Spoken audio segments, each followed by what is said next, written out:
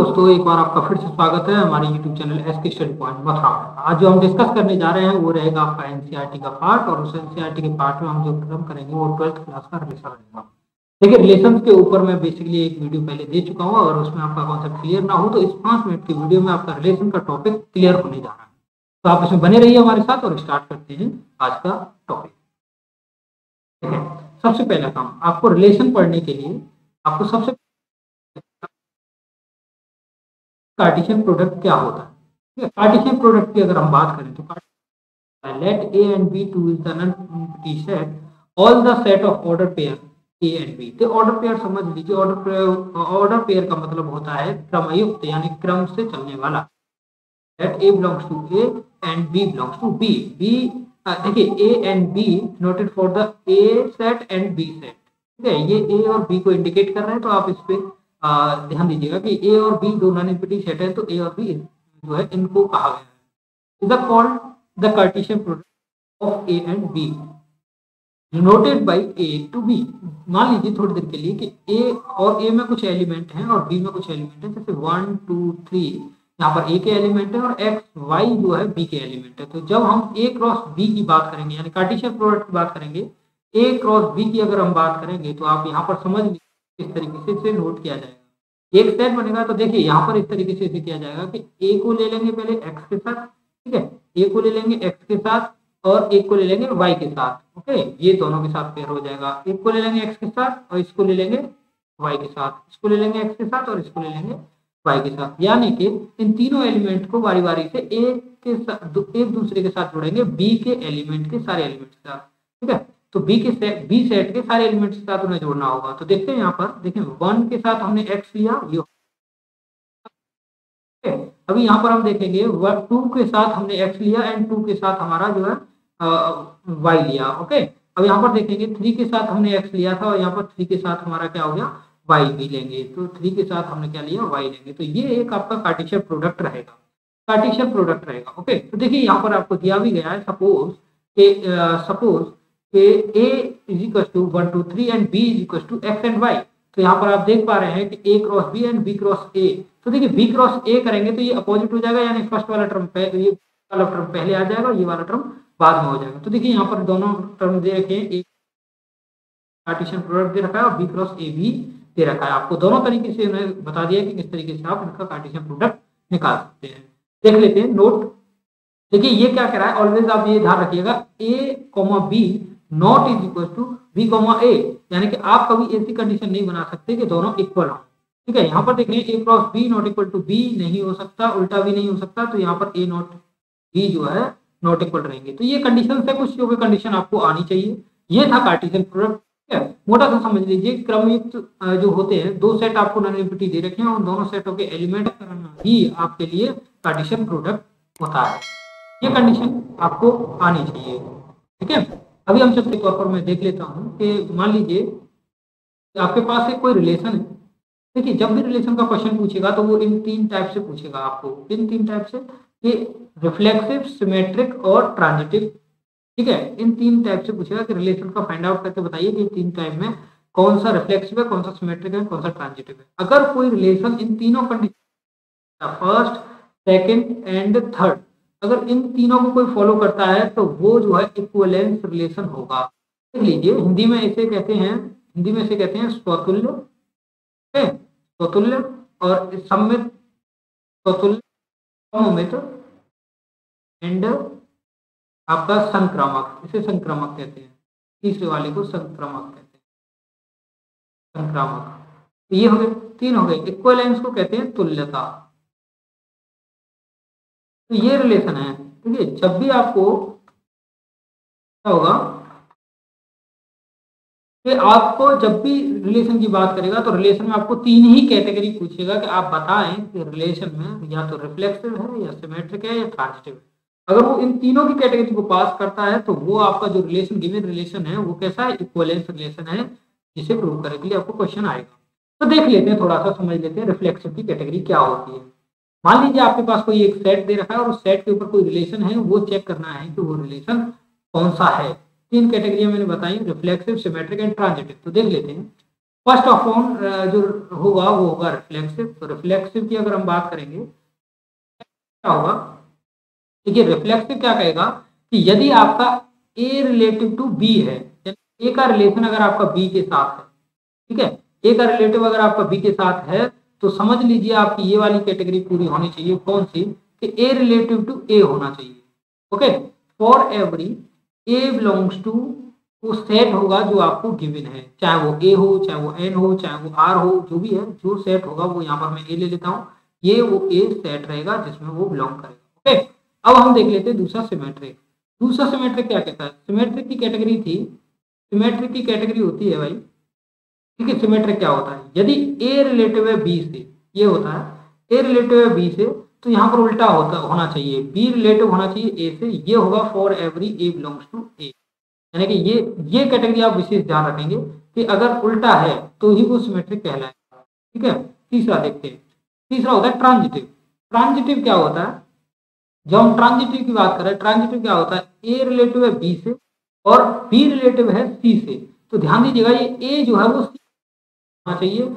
ये हमारा जो है ट्रांजिटिव कहता है। तो क्या होगा? ए रिलेटिव टू सी होना चाहिए। For every A belongs to A ये ये होना चाहिए। ये कैटेगरी थी। तो ऐसी कैटेगरियों को for every for every A belongs to C sorry A belongs to A होना चाहिए। तो ये अगर तीनों कैटेगरी पास करेगा, तीनों कैटेगरी को पास करेगा तो वो रिलेशन आपका क्या रहेगा? इक्वलेंस रहेगा। ठीक है? इक्वलेंस रहेगा। तो अब इक्वलेंस होता है तुल्यता, यानी कि हाईएस्ट जो होता है वो यही होता है, तीनों की परफॉर्मेंस के अकॉर्डिंग देखा जाता है। ये मैंने ऊपर भी लिखा हुआ है, इनके देख सकते हैं आप। तो मैं इसे, आप बेसिकली आपको एक क्वेश्चन से समझा दूँगा कि क्वेश्चन किस तरीके से होता है। तो क्वेश्चन आगे वाले टर्म में देखते हैं अभी। वन सेकेंड यहाँ पर देख लेते हैं एक बार। देखिए, यहाँ पर इसमें मैंने डेफिनेशन भी आपको नोट किए गए हैं, समझ लीजिएगा। कि मान लीजिए अगर आपके पास एक कोई रिलेशन है तो उसका कार्टिशियन प्रोडक्ट निकाल लीजिए और कार्टिशियन प्रोडक्ट का सबसेट होता है कोई एलिमेंट जो कि आपका, जैसे मान लाइक दैट ए है तो वो अगर उस सबसेट का एलिमेंट है तो आप कहेंगे कि ये जो है रिफ्लेक्सिव है। इसी तरीके से तीनों कैटेगरियाँ फॉलो होंगी। अब हम चल रहे क्वेश्चन के ऊपर। क्वेश्चन से आपको समझ आ जाएगा। देखिए क्वेश्चन यहाँ मैंने लिया है आपके पास कि ए रिलेशन इज़ देखिए A relation is a parallel to यानी किसका रिलेशन है? पैरेलल टू का। On a set for S देखिए एस के एस कोई सेट है जिसके ऊपर एक पैरल का एक जो है वो लगा हुआ है रिलेशन तो और सेट किसका है? ऑल स्ट्रेट लाइन का. ठीक है all straight line in plane has the equivalence relation तो वो ये कह रहा है कि प्रूव करिए कि इक्विवेलेंस रिलेशन है. ठीक है इक्विवेलेंस रिलेशन है. तो देख लेते हैं. फ़र्स्ट ऑफ़ रिफ्लेक्सिव की कैटेगरी देख लेते हैं. रिलेशन जो है हमारा किसका है? एस का है. क्लियर एस क्या है? स्ट्रेट लाइन है. ओके स्ट्रेट लाइन होती है इस तरीके से. स्ट्रेट लाइन होती है इस तरीके से। A and B A A line है और ये बी लाइन है और एक कोई सी लाइन है। ये तीन लाइन आपके पास है। समझिएगा, ये पैरल का इनमें रिलेशन है। रिलेशन जो दे रखा है रिलेशन सेट जो दे रखा है, वो पैरल का दे रखा है। अब क्या करेंगे, देखें रिफ्लेक्सिव की बात करेंगे। रिफ्लेक्सिव क्या कह रहा है कि अगर एल और एम अगर पैरल हैं एल और एम अगर पैरल हैं तो हमेशा आप समझिएगा कि एल एल के पैरल होगी। सिंपल है इक्वल होती है अपने आप में। तो एल और एल बिलोंग करेगा स्ट्रेट लाइनों में। तो देखिए, ये एल ये ए स्ट्रेट लाइन ओके तो या मैं इसे एल कह सकता हूँ, इसे एम कह सकता हूँ, कोई प्रॉब्लम नहीं है। तो ये एम हो गया और ये एन हो गया। तो देखें एल और एम दोनों स्ट्रेट लाइन बिल्कुल राइट है तो ये रिफ्लेक्सिव की कैटेगरी में आता है।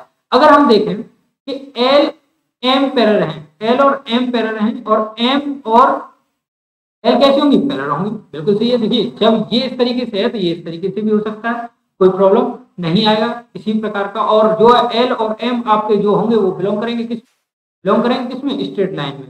किसमें स्ट्रेट लाइन में। ठीक? अच्छा सेम तो सिमेट्रिक कैटेगरी भी पास होगी यहाँ पर। सिमेट्रिक की कैटेगरी भी पास होगी। अब मैं तीन लाइनें ले लेता हूँ। एल पैरल एम के और एम पैरल है सॉरी एम पैरल है यहाँ पर एन के। तो ये हो गया देखिए। तो एल जो है वो एन के पैरल होगा। ये तो सत्य है कि एल एक दूसरे के पैरल होगा। तो यहाँ पर एन है ये। पर ध्यान दीजिएगा एल एम और एन तीनों किसमें होंगे? एस में होंगे। ये कैटेगरी होंगी। सिमेट्रिक और ट्रांजिटिव के इस तरीके से क्वेश्चनों को किया जा सकता है। अभी मैं यहाँ पर एक आपको एक खुद अपनी तरफ़ से एक एग्जांपल ले लेता हूँ। जैसे मान लीजिए मेरे पास एक कोई सेट है। यहाँ पर सेट है one two three four five और डॉट डॉट डॉट यहाँ पर थर्टीन एंड फोर्टीन यहाँ तक है। ये मेरे पास कोई सेट है ना?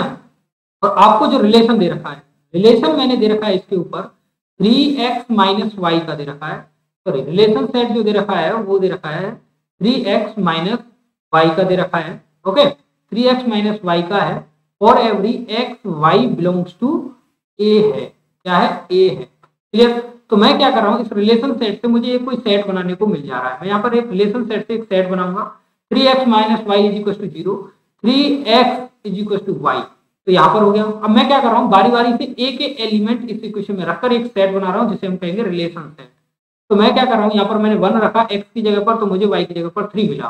तो मैंने क्या वन रखा थ्री मिला। ओके एक बना।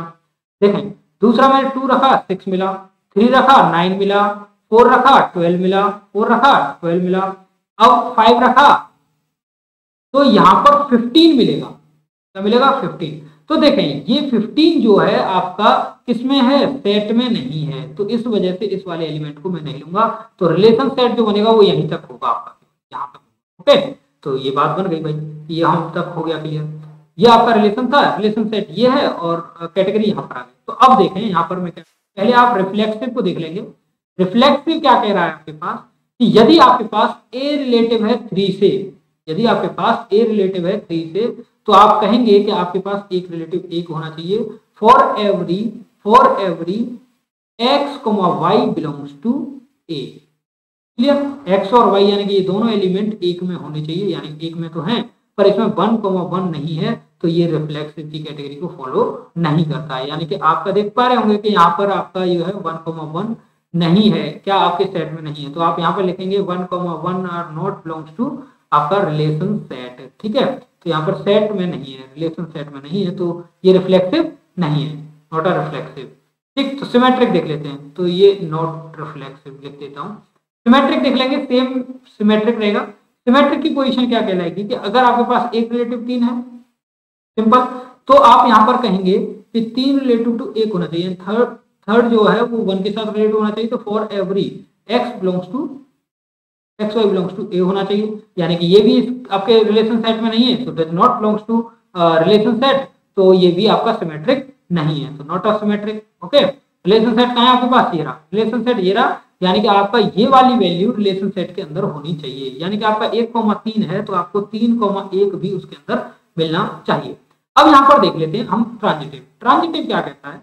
ट्रांजिटिव की बात अगर हम करेंगे तो ट्रांजिटिव आप देख लीजिए यदि आपका एक रिलेटिव है तीन से ठीक है? और तीन रिलेटिव है नौ से। तो आपका एक रिलेटिव होना चाहिए किससे? नौ से राइट ना? आपका एक रिलेटिव किससे होना चाहिए? नौ से। For every x y belongs to x y belongs to belongs to A तो ये भी नहीं तो ये भी आपका ट्रांजिटिव भी नहीं है।